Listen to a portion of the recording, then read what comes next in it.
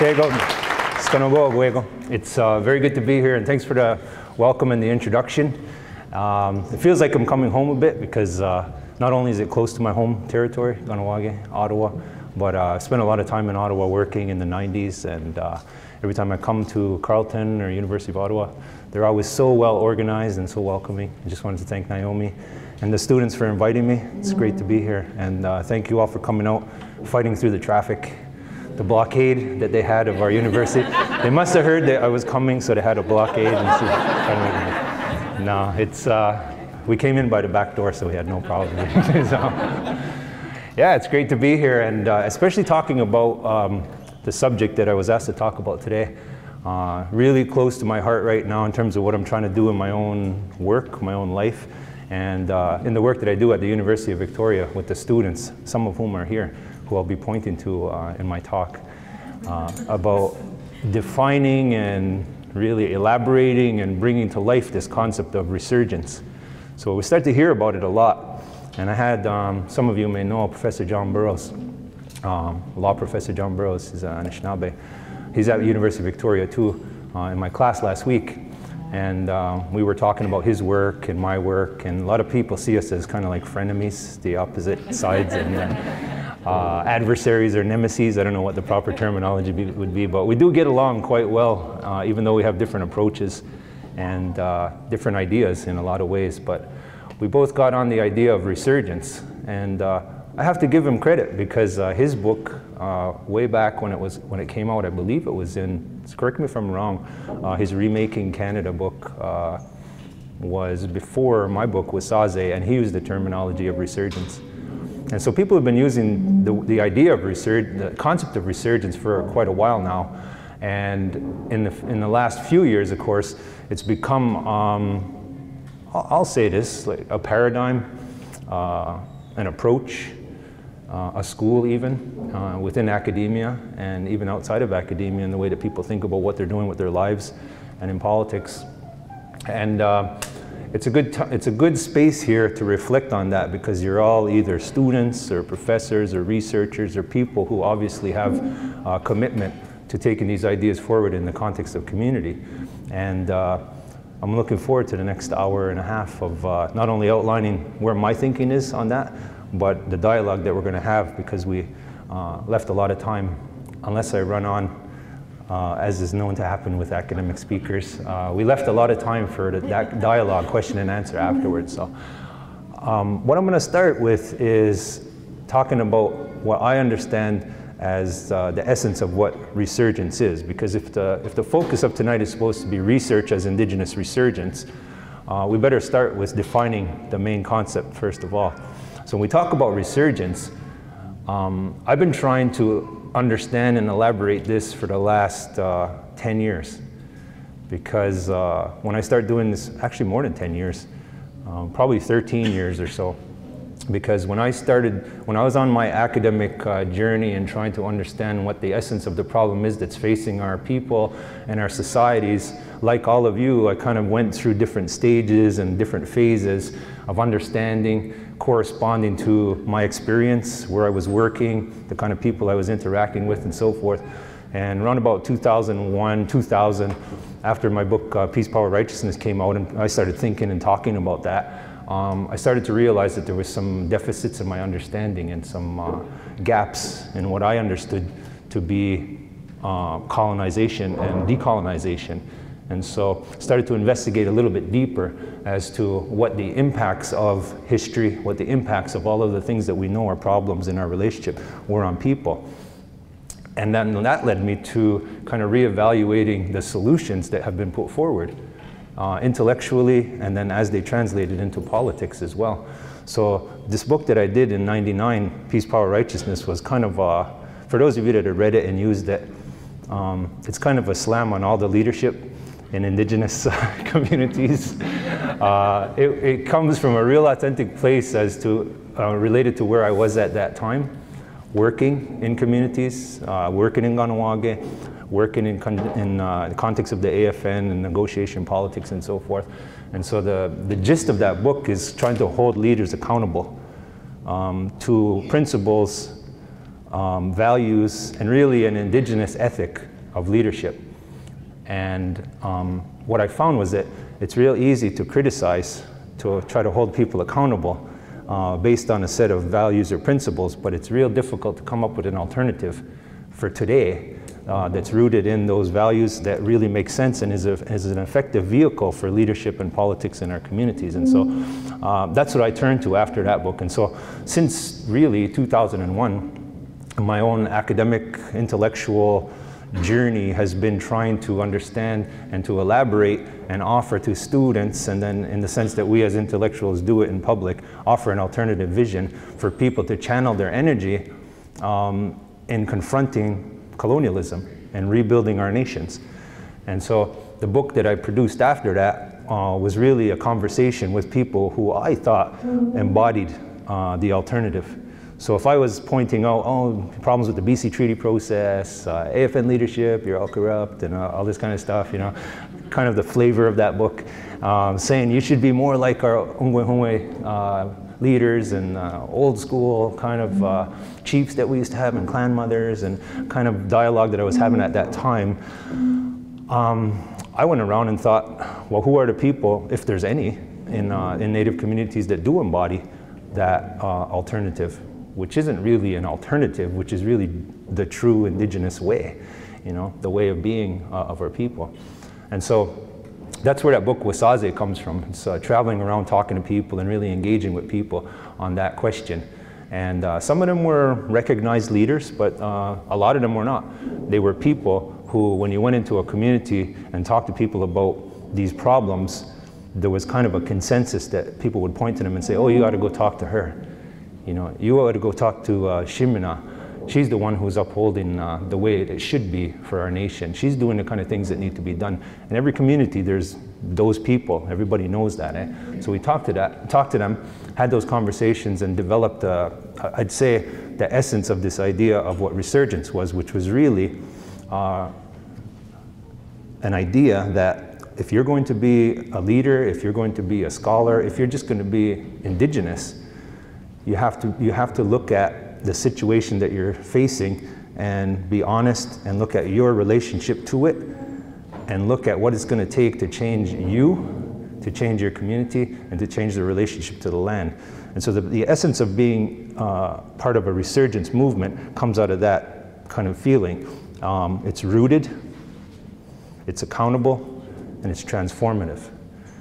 And when I came up with this, those three principles, I realized the acronym is RAT. And uh, I was so disappointed. It doesn't have a very powerful acronym, RAT. But then I realized, hey, I'm kind of in Algonquin, Ojibwe country, and you know, the muskrat, you know, and all that kind of stuff. And so I thought I'd go with RAT anyway. So uh, rooted, accountable, and transformative. And when you're talking about yourself as an Indigenous scholar, when you're a student thinking about where you're going to go with your career, and if you're an Indigenous leader or an Indigenous person trying to raise up Indigenous kids to be more Indigenous than you as they go forward in their life.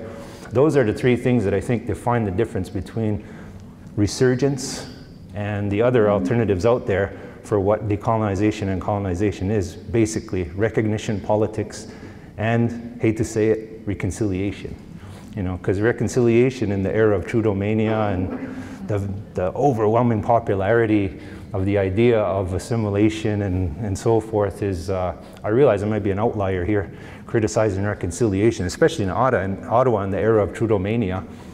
Um, but what the hey, I got the shirt on, so I might as well, uh, I might as well take my position and defend it, you know. Uh, so I'm looking forward to a dialogue on that. But when it comes to it, I have to, I have to point to that too as an alternative. And for, for those of you that haven't read uh, or engaged with the work of uh, Leanne Simpson or Glenn Coulthard. And there's, there's all kinds of people working in Resurgence, but I'm naming these people that are sort of taking the lead in publishing and, and are known to represent this perspective. I'll focus on Glenn because his uh, critique really is uh, significant in helping people understand uh, the difference between resurgence and reconciliation and recognition. And I'm not here to criticize those two, although I do those kind of talks sometimes focus on recognition and reconciliation, but just very quickly to kind of elaborate the difference for those of you that haven't engaged on this yet. Um, recognition politics is basically the idea that is driving Aboriginal rights, land claims, and so forth. It didn't start out that way. It started out as a strong nationhood movement to get our land back, to, to have our nations, our laws rec, uh, recognized, and to have them enlivened again, and to have them govern our people and govern the lives of our people. But through process of politics and, and so forth, um, it's come to be a process of uh, recognizing indigenous peoples only to the extent that they conform to the basic ideas of the colonial society. And so what you have is an idea that when you have a land claim or a self-government claim or you're negotiating some kind of agreement or the Supreme Court is considering our presence here and our rights, it's more a recognition of uh, the fact that we are now a part of Canada and a recognition of our fact being here, but not any substantial transformative uh, importance to that decision. And so Glenn Coulthard does a really good job of, uh, of elaborating the problems with this. Um, and also, I think, builds on the notion of this idea of co-optation about how uh, Canada has structured the whole relationship, the, the, decolonizing relationship in Canada, to make it very enticing for people to want to follow that pathway rather than to stand on the strong principles that our ancestors defended our nations on. And so it's not only intellectually seductive to, to think that, to, to be offered the idea of inclusion, recognition, validation, and so forth, but it's also financially motivated as well in the sense that there's a lot of programming dollars and a lot of money behind the whole process structured into the negotiation of these recognitions. Um, that's, that's one element. I'm not going to focus too much on it. Just in gist, that's what it is. Uh, rec the reconciliation, I think everybody's becoming very familiar with that. I mean, when we talk about reconciliation, it kind of builds on recognition, on that whole structure of recognition and Aboriginal rights and so forth. It's oriented towards inclusion too, but in my reading of reconciliation too, it's Canada's effort to um, assuage the guilt of colonization. It's Canada's effort to turn the page on Canadian history. It's Canada's effort to make the suffering of residential schools the centerpiece of an effort to make us forget that our existence is rooted on the land, in nations, and that we are collectivities, and that there is a vast injustice still present, whether or not individuals are compensated or healed from the experiences and the horrible experiences they had in residential school. It's Canada's attempt to make it about cultural uh, survival and healing, which are two things which no one is going to complain about and say shouldn't happen. But when you stop, when you stop there and you don't talk about the land and you only talk about cultural revitalization and healing, it's a further injustice.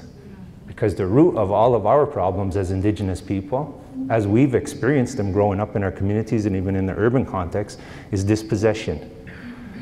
I remember when I worked, I've said this many times in public, but I always will every time I talk about this and give credit to Rose Letizia, a Yukon elder from Old Crow, who um, used to tell all of us who worked at the Royal Commission on Aboriginal Peoples, the young people at that time in the 90s, that it's all about the land. It's all about the land. So we were talking then about Aboriginal rights, self-government, the, the origins basically, the nascent idea of reconciliation was hatched in the Royal Commission and all of the discussion forums that we had there and the recommendations that were put forward. And she would always remind us, it's all about the land, like don't forget that. Don't let them convince you that social justice is a substitute for land justice. Don't let them convince you that programming dollars and being accepted and being allowed to dress and sing and do your ceremonies and all that is a substitute for your nation's laws being the laws that govern your territory again. Don't let that happen. And uh, not many of us paid attention at that time. And I think that now is the time where if we don't pay attention to that message, everything could be lost for our nations. It's getting to that crucial point where there's so, there's so little left of our nationhood as it manifests in reality on the ground, on the land. Uh, and there's so much of an overwhelming threat of assimilation through laws and cultural being overwhelmed culturally and all of these things happening to our people and our future generations that if we don't pay attention to our connection to the land and our rootedness in it intellectually, spiritually, and physically, uh, we, not, we may not be talking about indigenous nationhood a generation from now. We may not be able to talk about it because it might just be a memory for our nations, for our people, for the next generations coming up. So it's imperative of us, younger people, especially the younger people, to understand how important and then to begin to live that in a very serious way, even as intellectuals. And so that's where this, that's the spirit behind resurgence. It's kind of looking at the alternative pathways that have been laid out by, by previous generations of people who have honestly and with all the best intentions and with a lot of hard work tried to figure out colonization. You know, I'm not putting down the work that we did in the 90s, and I'm not putting down the work that was done in the 80s, or, easy, or for most people, the work that they're doing now. You know, they are coming at it trying to figure things out and lay out a good pathway for the next generation. But just as much as they're doing that, we sometimes forget that there's people on the other side who have other intentions and other ideas that are very consistent with colonization and racism and all those things, and they're fighting just as hard to make sure their vision prevails. And I think that's the difference. You know, if I think back in the 90s and certainly in the 80s, we didn't trust the government. we, sorry, but we didn't trust white people either. we were suspicious and we were standoffish and we were hostile intellectually to the ideas that came from Canadian society because we knew our history and we knew what Canadians wanted from us. That's different now. When I'm in, I don't know, maybe I'm wrong, but uh, when I interact with people, when I watch the news, when I look at the, the, the, general kind of social dynamic in the society, it seems like there's a lot of indigenous people in leadership positions, in the media, intellectually and politically, who actually believe that the government wants a good solution for indigenous people. That wants, they, they want indigenous people to survive as indigenous people. That, that, that's bizarre to me. You know, how, could, how could Canada, as, an as a set of institutions, want indigeneity to continue? Because indigeneity means, to me, and I think to anyone who takes it very seriously, indigenous laws on indigenous territory, indigenous cultural practice in relation to the land and each other, it means fundamental difference, and it means a spirit of interrelationship and cooperation, but not integration. It means being in the way of progress. It means all these things. And so when Canada says that it, it values Aboriginality, I think what it's saying is that it values Aboriginal people who want to be Aboriginal but not Indigenous. You know the difference? So for my Haudenosaunee people, you want to be Aboriginal but not Onkwehonwe. And that's a significant thing. I've written about this in Wasáse, but it's become much more clearer to me in the last 10 years because when I wrote that book in 2003 to 2005, I was thinking about it as kind of a warning. Don't go that way.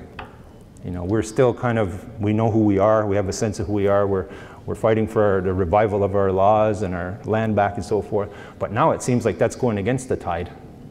To me, uh, it looks like we're going against the idea that has come to prevail and become hegemonic in this whole discourse, which is Aboriginalism, as I labeled it in that book, and the idea of Native people taking their place in the larger mosaic of Canadian society, of having a special place, but not having a distinct different set of rights in an existence which is parallel and separate from Canada. That seems to be something of a minority view these days, but not in the resurgence paradigm. in the resurgence paradigm, intellectually and politically, it is the center of it. And so when I talk about those three uh, principles, rat, uh, the rootedness con conforms, well, the three of them actually conform to an old teaching that I can remember from, the, from that same era in the 90s. Um, it was, uh, we had a forum when we formed our program, the Indigenous Governance Program in Victoria. And when we formed that program, I, I thought, I was the director, and I thought, who do we want to come and lay the foundational set of views for our program? You know, who are the, who are the thinkers or who are two thinkers that we could get and announce to the university with authority as to what we stand for. And I got uh, Lee Maracle and Simon Ortiz. So hopefully you guys know who they are. I'm sure you know who Lee Maracle is. Uh, Simon Ortiz is an Acoma Pueblo philosopher and a poet and a, and a teacher. So those two people, to me, embodied what we were trying to do with iGov. And Lee Maracle did her thing, and you know, she talked about the ongoing re realities of colonization and violence against women and all of this stuff, and it was great. And that's certainly a, part, a big part of what we do in iGov too. Um, there's also Simon Ortiz, who's more of a gentle teacher who brought in the message of uh, land, culture, and community. And he reinforced for the students there, for us who would be teaching in this program, and for the university community, what the, importance, what the important things were that we should be focusing on. And just like the Yukon elder, Rose Tizia, him again coming and saying, it's land, it's culture, and its community. And when I think about that rootedness, accountability, and transformation, it kind of conforms to that. Um, if you think about rootedness, it's about the land. If you think about accountability, it's about community. And you think about culture, it's about transformation. We're all colonized. We've all inherited a colonized existence. And maybe I'll start with transformation. We all inherited that we're all part of it. We've all lived it to one degree or another. The false identities, the colonized, disruptive, harmful notions of masculinity, of gender relationships, of uh, how we treat our bodies and how we live in relation to the land and all these kind of things. You know, we've all, we've all taken that in. No one can escape that. So there's no one that can stand up and say, oh, I'm free from that, or I wasn't affected by it. If they do say that, then you know they're blowing smoke at you and don't believe their teachings. Because the only true stories are stories about transformation, about how someone has come to be awakened to that, and then followed good teachers, looked at the teachings that are available from within her culture, and then committed to making the changes in her life in order to become stronger and to transform herself from that colonized or harmful being into something that is more healthy, powerful, good and that's not only in the colonial era. We think about the, the Great Law, the Gayanaragoa. It's all about transformation too. I recently started writing another kind of a book and stories about Kahnawake. And uh, I reread, because I don't speak Mohawk enough to be able to listen to it and get the teachings that way. I could listen a little bit, but I'm reading the material. And uh, I start to realize that's all about transformation too. Tarudaho, Ayunwata, it means he's awake. Um, all of these stories and almost every single interaction in the Iroquois Great Law of Peace is about an interaction where someone is doing something wrong or they have a bad mind, and it comes and it gets transformed through the teachings. And then they become the carriers of that wisdom and they become the ones who embody it, and then the community heals. So transformation is at the heart of indigenous resurgence. And I think that's one thing that's forgotten a lot in our business and our business, I'll say, is academia and politics, where people think that they could have ideas but not live them, and that they can teach ideas but not embody them. Maybe, but I think not. Because think about in your own life. Every teacher that you've had, every person that has affected you and caused you to go in a different direction that's a better direction, I won't even say better actually, that's caused you to go in a different direction, even if it's bad they embody a certain way of being and they affect you and they lead you either through example or by taking your hand and taking you in that direction.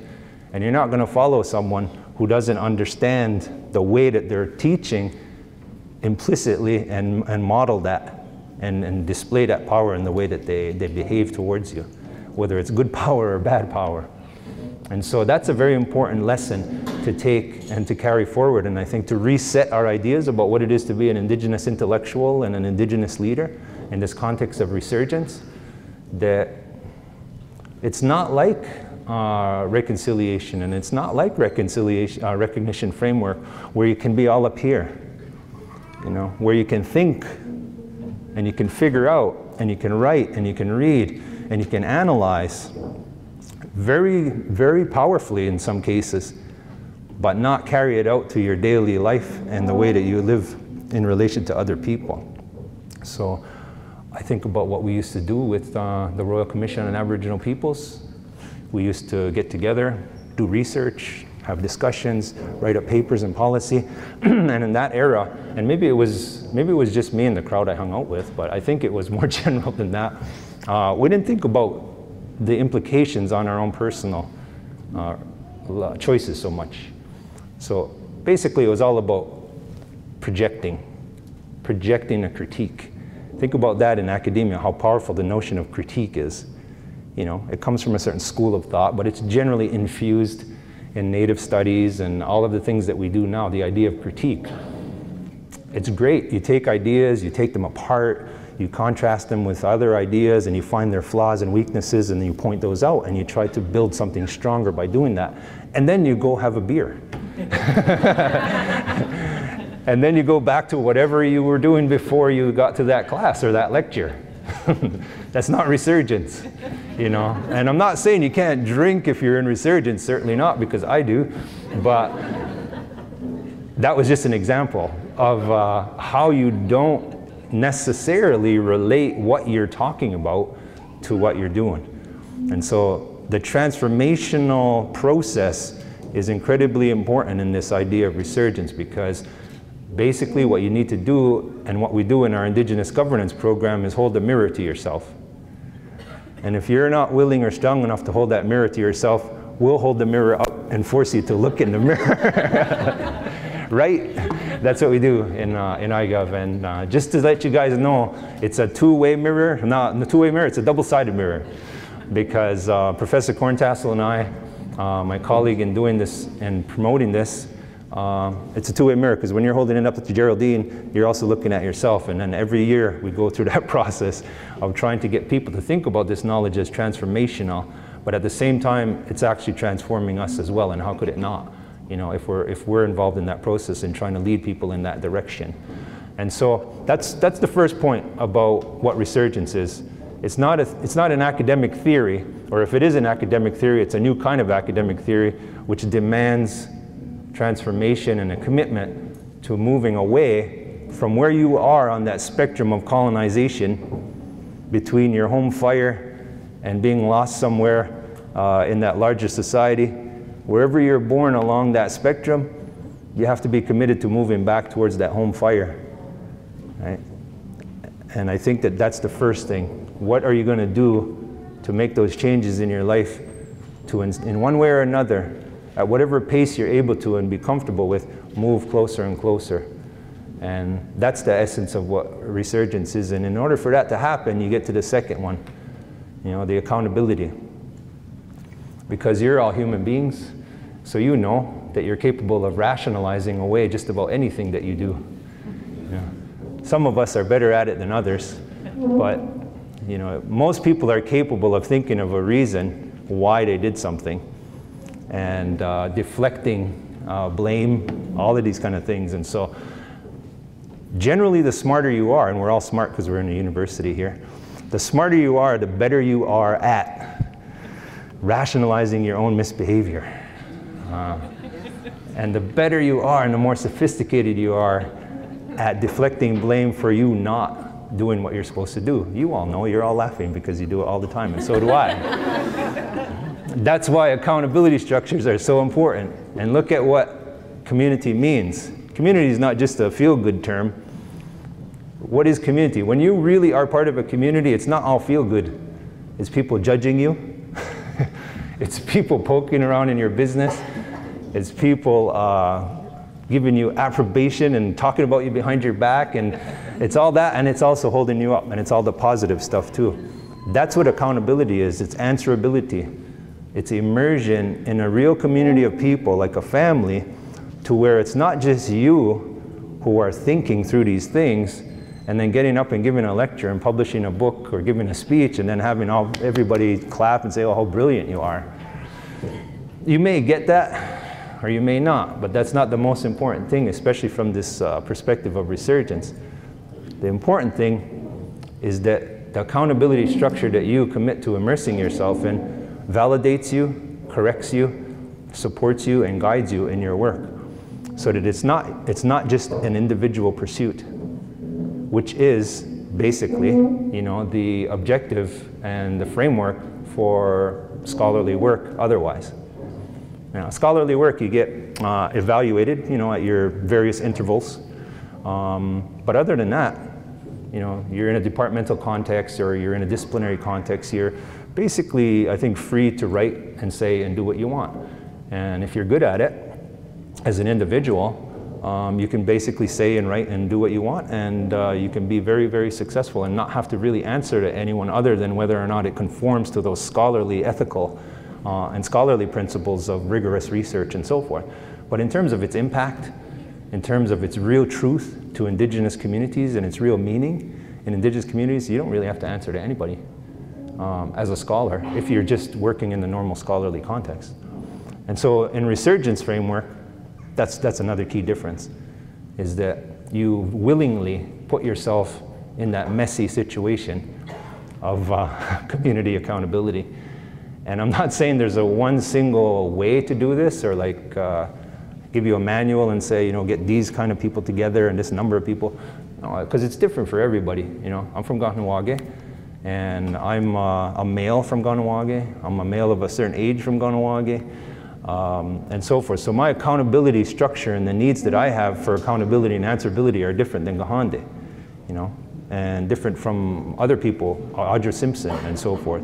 You know, everybody's different, and so as people, you're different too. And so you, you need basically people that are going to call you on your BS, is what you need.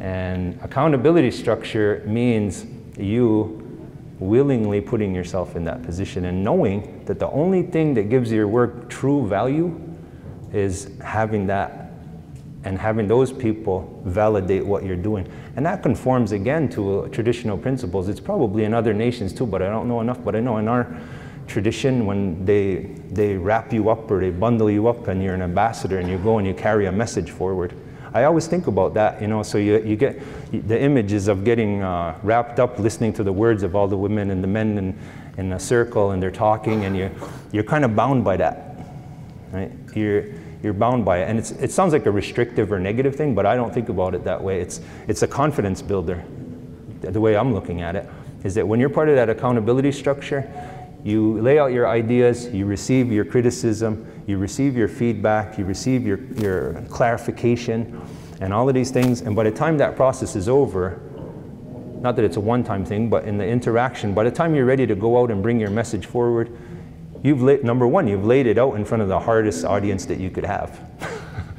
so you know that you can go speak to anyone and talk about this and feel confident. But number two, you've, you've received uh, such great teachings in, the, in those interactions that it's also helping you with your research and sharpening it and making it much more powerful as well. So it's not a negative thing to go and put yourself in a community accountability context. It's actually a very positive thing for your work and for your confidence. And so the key in resurgence is as a person who's operating in the context of a university, especially if that university is not situated in the midst of indigenous territories or having such a strong indigenous presence, how do I have that accountability? How do I create that? What kind of connections or what kind of mechanisms do I have in my life and my practice to be able to have that support, that approbation, and that confidence that comes from being in that? And that's a real challenge for anybody, you know. And so I think here at Carleton, it's probably easier you have a strong indigenous presence. There's a lot of indigenous people surrounded by indigenous communities. Anybody who's an indigenous scholar here uh, has a wealth of uh, resources at their disposal. But what about if you're at Yale? um, I won't mention my alma mater, Cornell, because there's a strong indigenous presence there and stuff too. Yeah, but what if you're at Yale or Cambridge or um, I don't know, I, I won't pick on any university, but what if you're at one of those other places? Well, then it becomes a lot more difficult, eh? Like you as an individual then have to develop your own community or devote a significant amount of your resources in terms of time and money traveling to and maintaining that accountability with your home community. And so that I realize is putting a burden on people.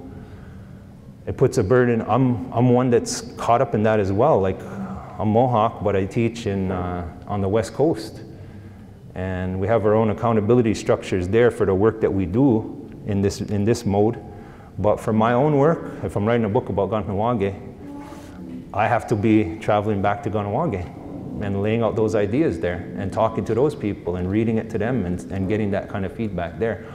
And uh, that's, that's my commitment, and I think that's the commitment of people who are involved in resurgence. So again, um, I could name a bunch of people, but I'll focus on the two that I mentioned. So you look at Glenn and the kind of work that he's doing. He's aspiring to be um, embodying this as well as a scholar.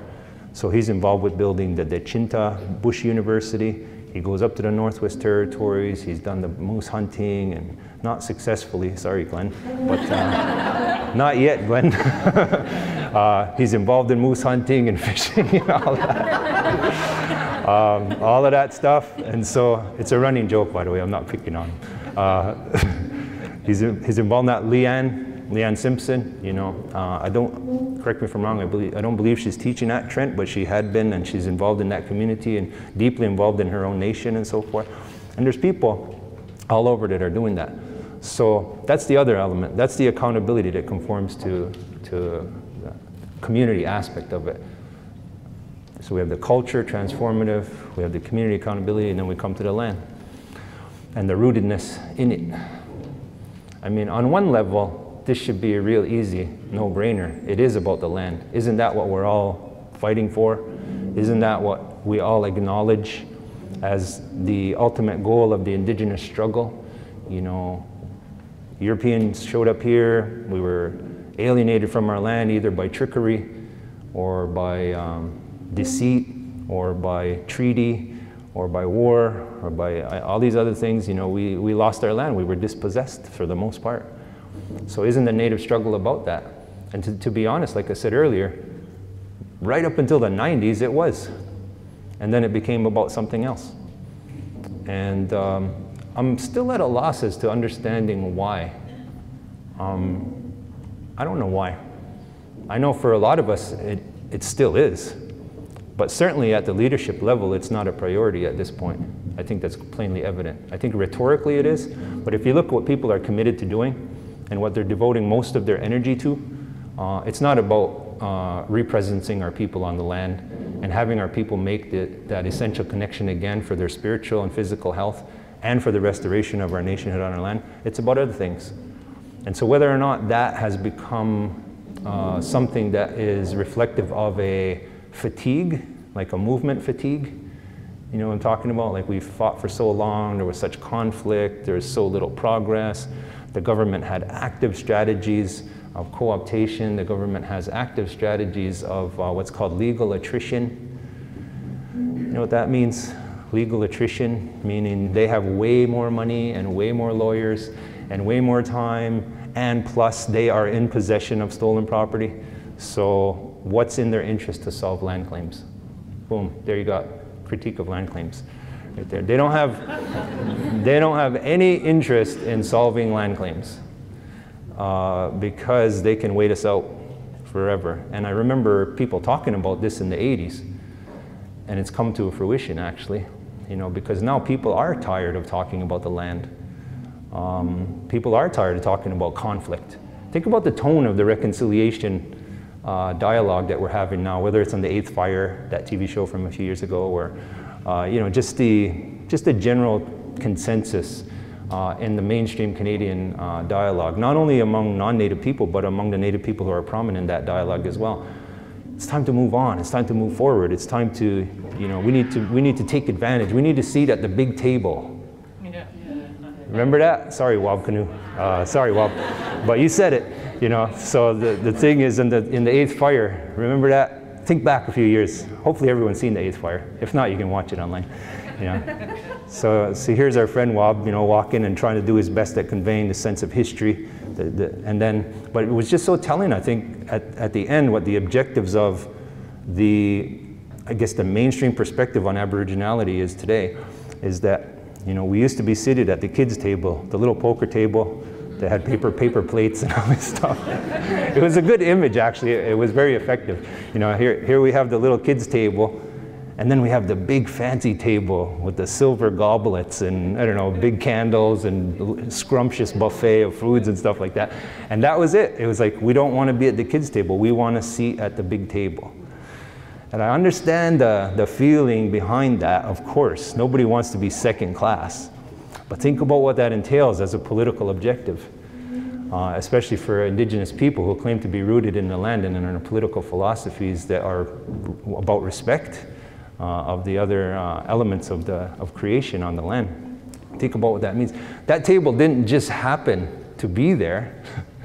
that table was set by people who destroyed the land crushed all the creatures that were there, including our ancestors, and out of their bones built that table and those utensils and take that food and make it so scrumptious a buffet for all the people who live in this land.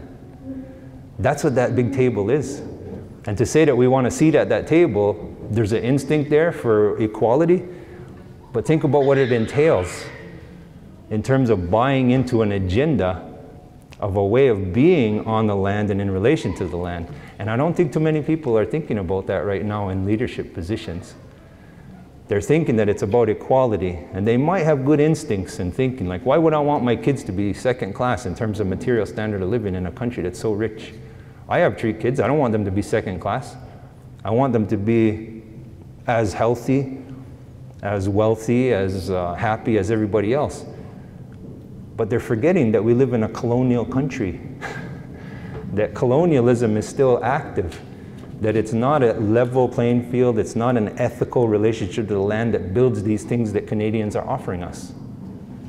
It's injustice, it's destruction and environmental destruction, it's all of these things that makes it possible for them to offer us inclusion. And at the very least, I think we have the responsibility to point that out to the next generation so that they can make a choice for themselves and not tell them that it's their responsibility to move forward and sit at that table. So that's the essence of what Resurgence is trying to do is to elaborate, um, elaborate a vision that allows Indigenous youth to think about other options for a healthy way of being, for creating happiness for themselves, for empowering themselves that doesn't mean buying into that lifestyle and that way of being in relation, especially as it relates to the use of the land in this country that Canada is currently involved in. And it's a very difficult thing to do. Very difficult on one hand because you're facing such challenges from the, from the other side, so to speak. Eh?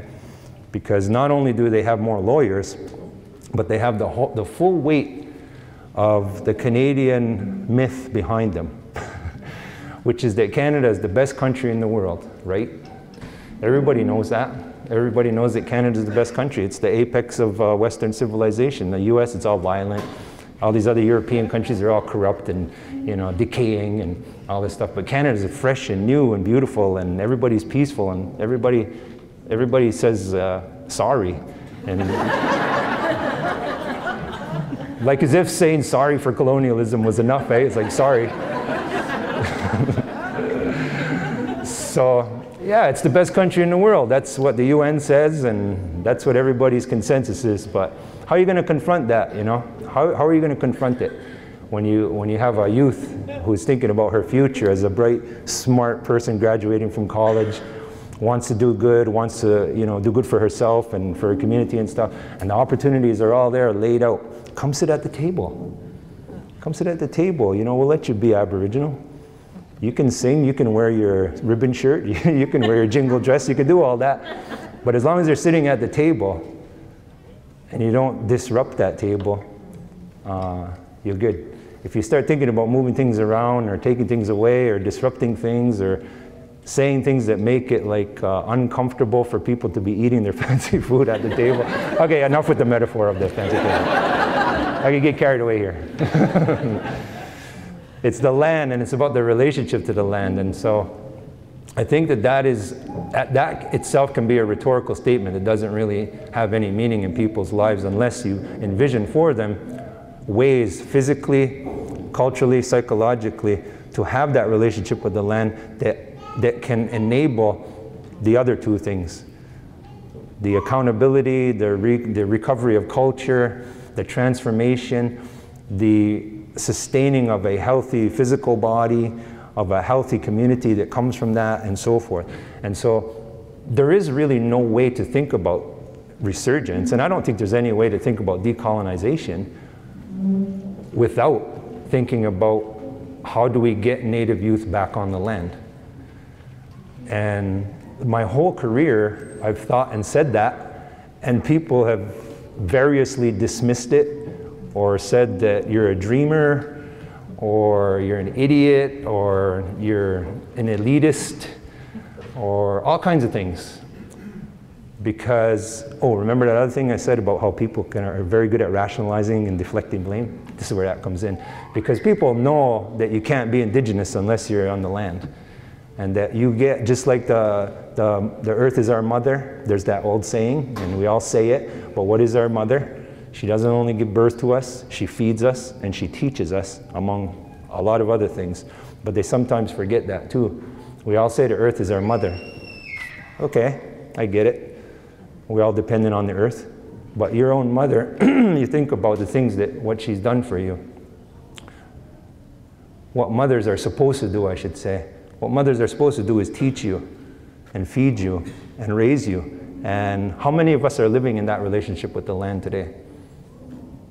There's not many people that have that opportunity to do that.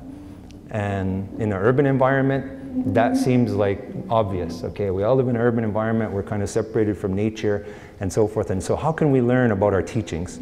How can we really appreciate what the teachings are from our culture if we're not in connection to the land? And so, the challenge is obvious there. But uh, my, uh, my kids, their nation is the Wet'suwet'en Nation. And for those that, that know Northern BC, their home community is Moricetown First Nation, which is in Wet'suwet'en, which is right in beautiful area of north central BC. Um, for a lot of people from our part of the world here, it would seem like the wilderness. It's not really the wilderness to them. And even more so, what shocked me over the 20 years that I've been interacting with that community and learning from them and hunting and, and visiting up there and getting to know them as family is the fact that even up there in those communities, they are separated from the land that even being surrounded by vast forests, just 100 yards or a mile outside of their front door, there's a lot of kids there that don't even know how to hunt. They don't know how to jar fish. They don't know how to do any of that.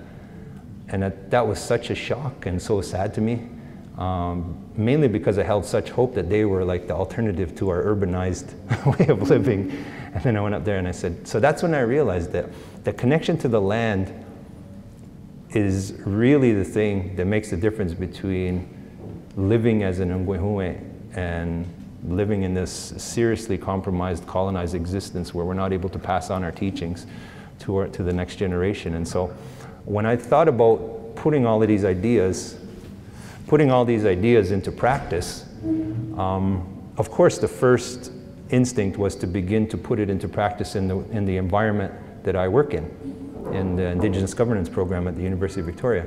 And maybe I'll leave it to question period to point out uh, some of the people who are from that program and some of the work that they're doing and have done, because there's a number of them here. Um, I thought about putting into practice. I thought about contrasting it with the work that I'd done previously um, in the Royal Commission on Aboriginal People.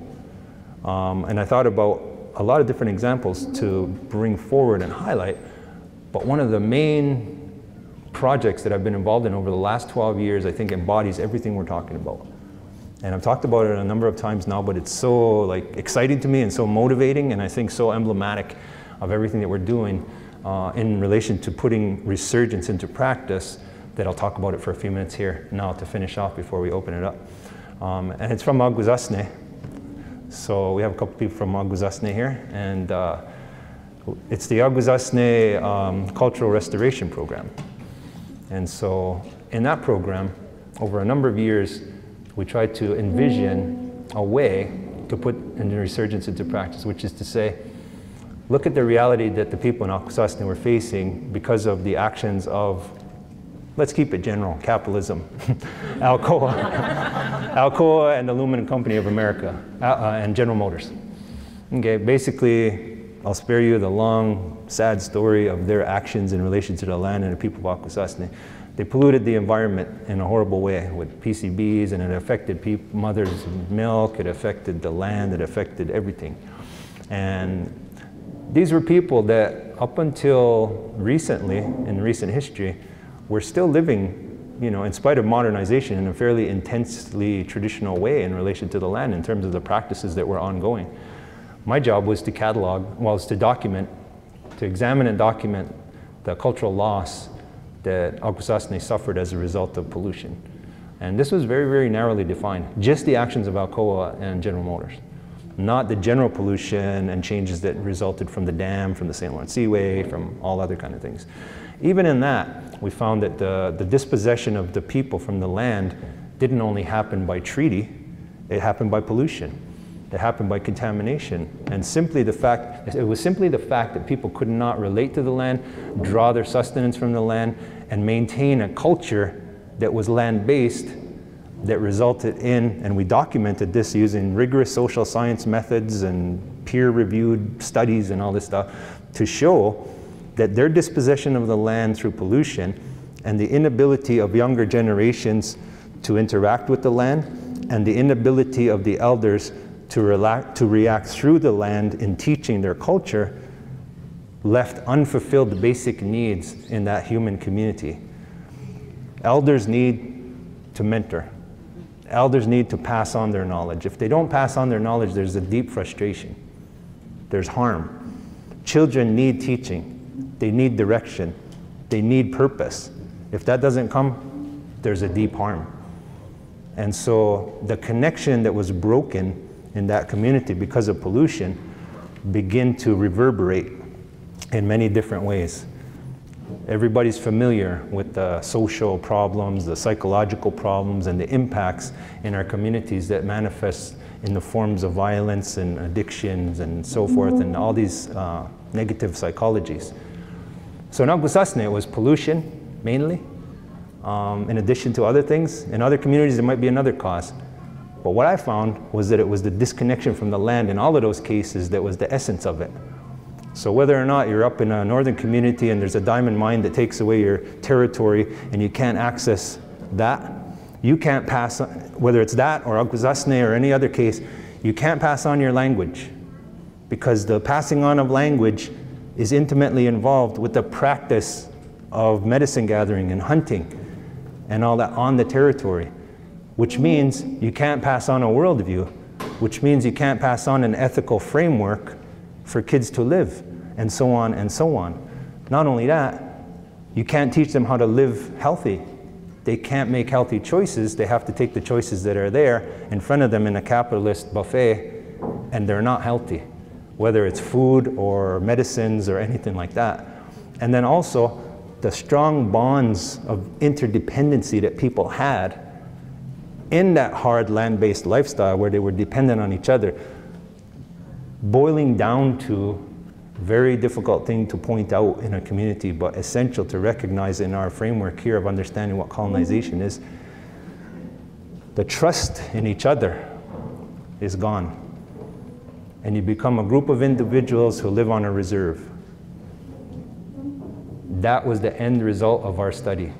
A group of individuals living on a reserve versus a nation of people strongly rooted in their territory, accountable to each other, transforming together in relation to challenges. All of these things that I'm talking about, that's all gone. The, the inability of the people to do that is colonization. And how do you confront that? Well, in Akwesasne, our accountability structure, all the, the men and women there who were most affected by it, the people in the community where we had forums like this to talk about it, uh, their idea was, and it's one that I fully support and have built on in the work that I do, is that just like Rosalie Tizia said, you can talk about all other kinds of compensation, you can talk about healing, you can talk about all of this other stuff, but what we need to do is get our people back in relationship to the land because that's what our teachings tell us is the essence of being Onkwehonwe. We have the Ohén:ton Karihwatéhkwen, which roots us in a, in a universe, which puts us in a universe of beings in relationship on the land. And we need to start there. And so when we talked about building this program up, the Akwesasne Cultural Restoration Program, which we were successful in getting funding to, to do, which shows that this isn't just pie in the sky.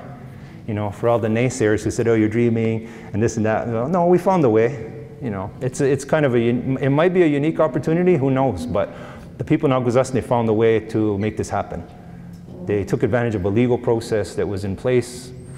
There was legal action, there was political action, and so forth. In the end, after 12 years, uh, and near failure when General Motors went broke and wasn't able to pay, uh, pulled it out at the last minute. there was uh, a package of uh, compensation specifically framed around a cultural restoration program. So the idea about indigenous resurgence now is a reality in Akwesasne because what we've done is take this whole framework, language, cultural practice, personal transformation, rebuilding the bonds of trust on the land, transferring culture intergenerationally and all that, and we put it into practice. It's the second year now that it's running. And the people that are involved in that um, are the best examples, I think, of the power of indigenous resurgence as opposed to other avenues of colonization.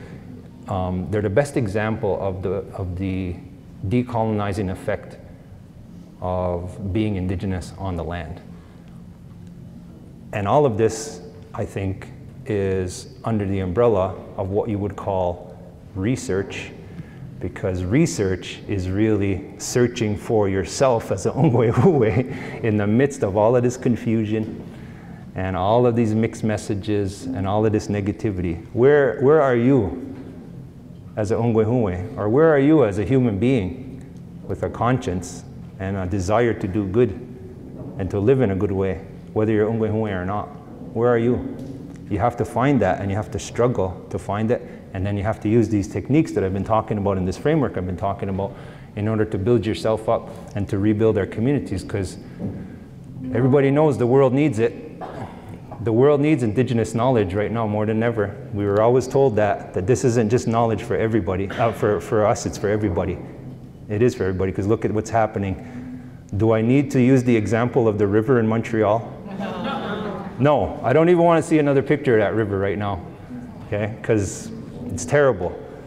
And that just to me shows how much education and how much of an example Ongwe need to be to the world when we're talking about confronting the challenges of growth and the challenges of climate change and the challenges of all of these things that we're going forward. So for all of you young people in the university, hopefully I've given you a framework to think about what you're doing and uh, hope you take something good from this and I'll look forward to having a conversation with you right now on, uh, on these ideas or anything else that you want to bring up.